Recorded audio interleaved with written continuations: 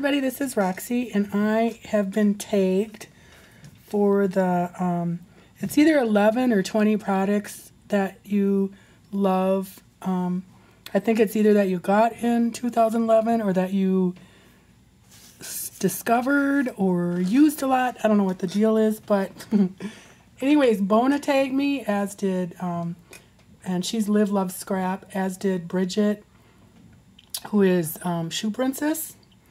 And so here I go. Um, okay, I put all my stuff in one of my little trunks or little suitcases. Um, I found this at the Junk Bonanza last September.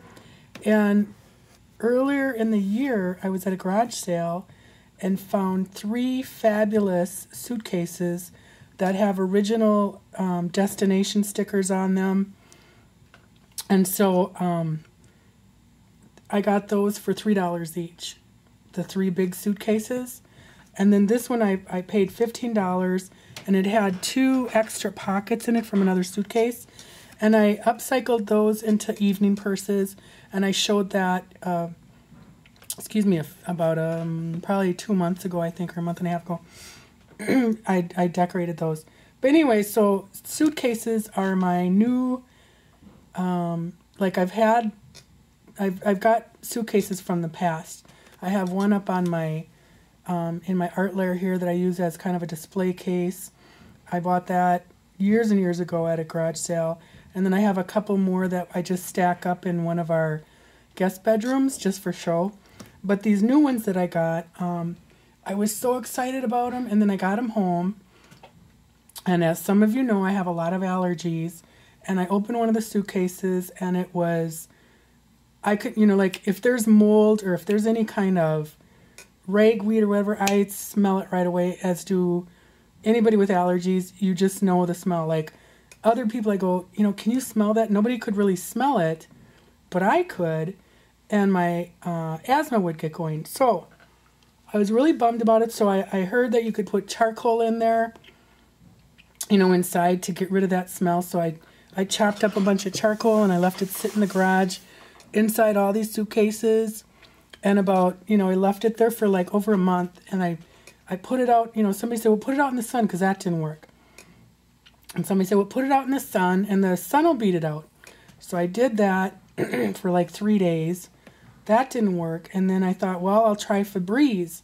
So i was outside in front of my garage spraying the inside of these suitcases with febreze and my neighbor was outside with his uh, well, Bill calls it their drinking buddy. It's this woman that hangs around with our two neighbors. But, anyways, she came over, and this is like hilarious. She came over and she goes, she goes, Are you trying to get some smell out of your suitcase? And I said, Yeah, I, it just smells real moldy. And she goes, She goes, I got us. Oh, this is the one who told me about the charcoal. That's what it was.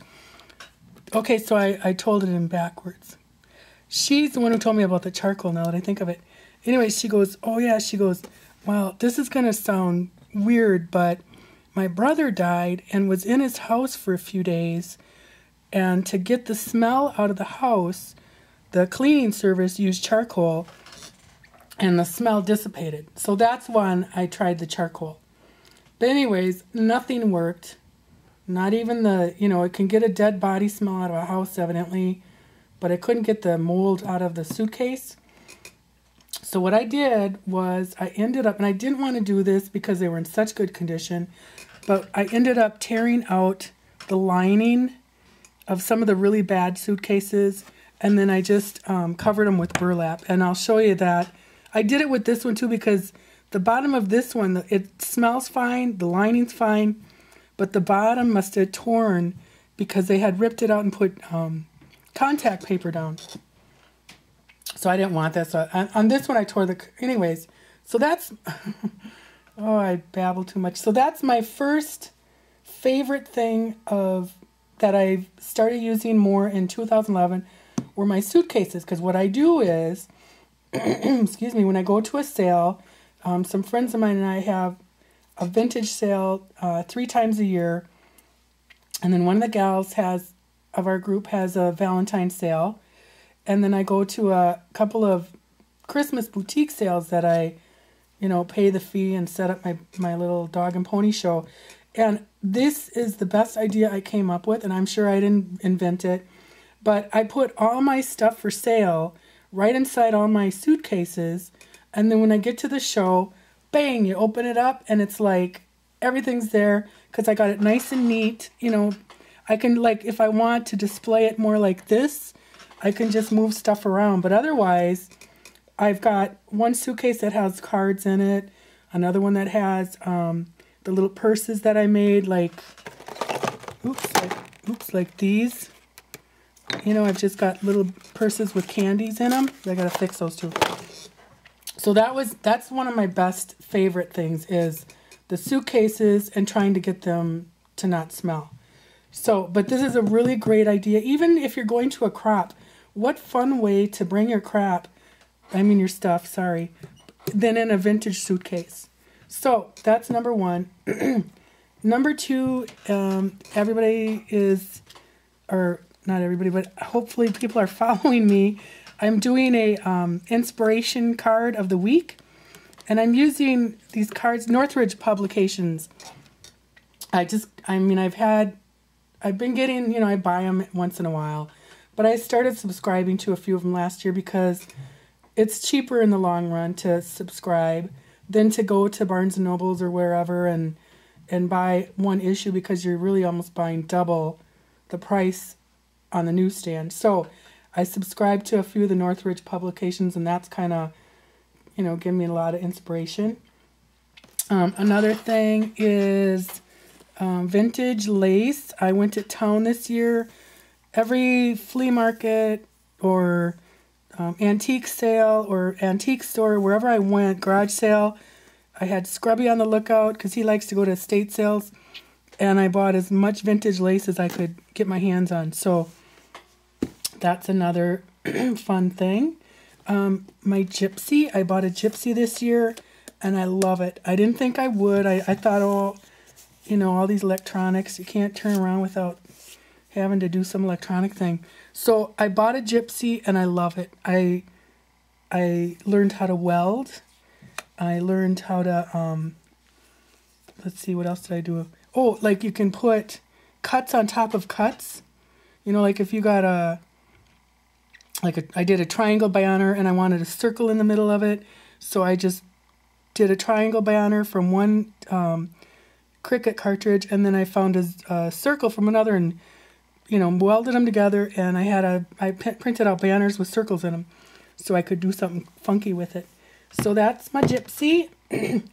um, Beck Whitty, whenever she sends in a, a journal spot for your paper pantry, not every time, but she's she kind of turned me on to the crimper, as did um, Yoli.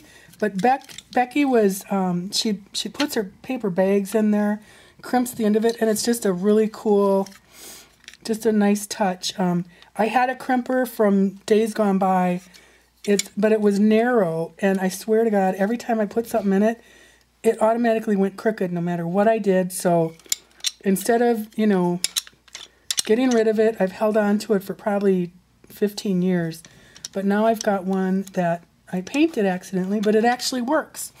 So that's really cool. And this was just, I didn't realize it. I was going to um, order one, and Yoli said, no, just go to Michael's. They've got them right on the shelf. So I got that. And then this is like Martha Stewart hit it home run on her paints.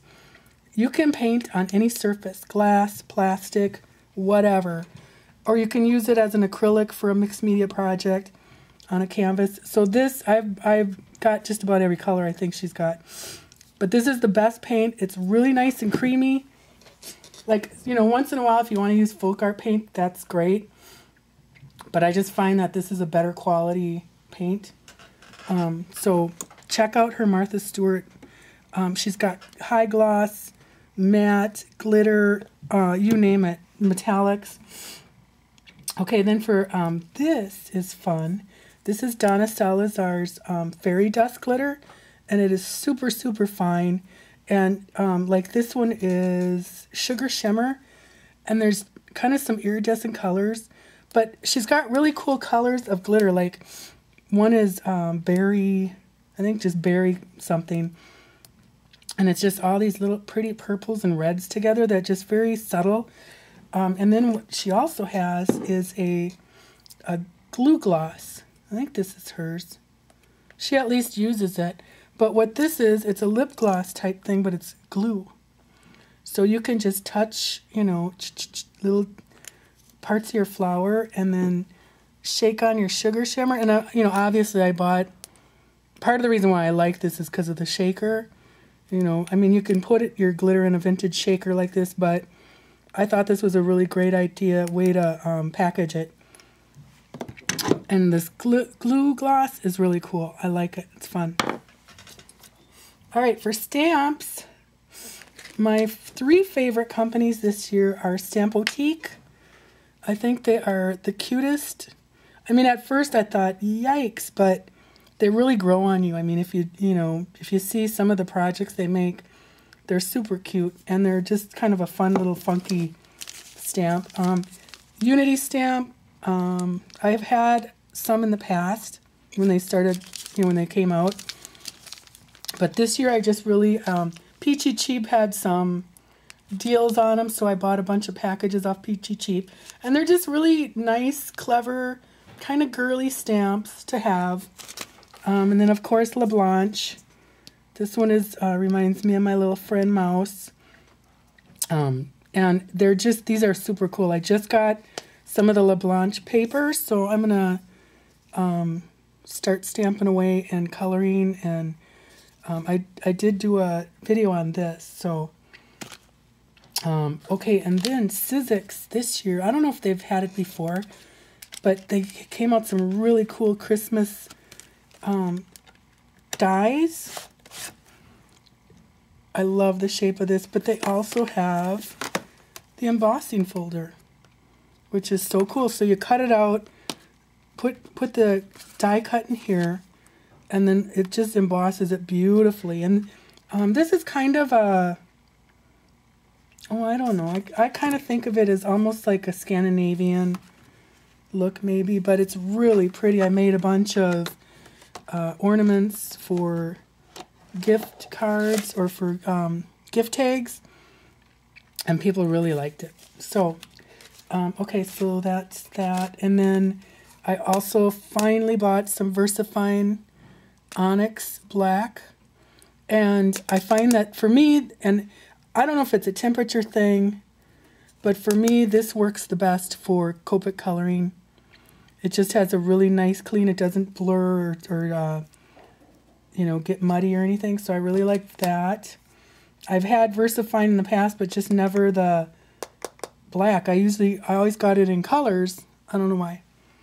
And then this is fun. Um, this was a Yoli suggestion. Uh, they sell this felt at Michael's. It's from Feltworks, Dimensions Feltworks. And this is really fun to um, use as, um, you know, to die cut flowers or shapes, and they come in really nummy colors. And then, of course, my all-time favorite love are vintage buttons. I have a milk bottle of every color combination you can think of. Um, I just, I use them a lot. And then um, last but not not least is I have been looking for this big scallop border punch for ages. And Miss Yoli being again, I, I asked her, I said, you know, because she uses it. And I said, where did you get that? I'm trying to find it. And she said it's at Michael's or Joann's. I looked at every Michael's and Joann's store in the Twin Cities and nobody had it. So she bought it for me and sent it up. And thank you, Yoli. So here's all my goodies. Um, oh, and then I'm supposed to tag somebody. I forgot to write down. Okay, I'm gonna tag.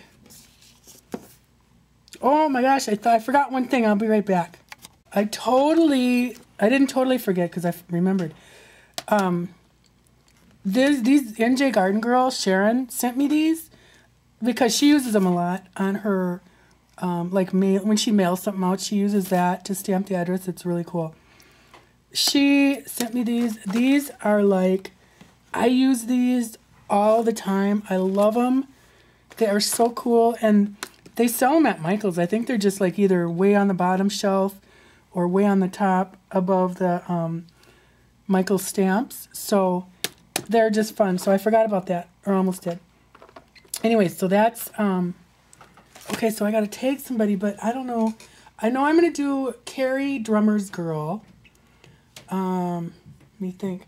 Everybody's been doing it. Um, um, let me think. Why don't you know what I'm gonna do? I gotta really think about it because I know a few of the people I thought of have already done it. So I don't think we want to do this uh, round again, do we? but anyways, so those are my fun things, my favorites. My um, hope I showed you something that maybe you hadn't seen or thought about. Um, but anyways, that's my 2011 favorites. Thanks for watching. Bye.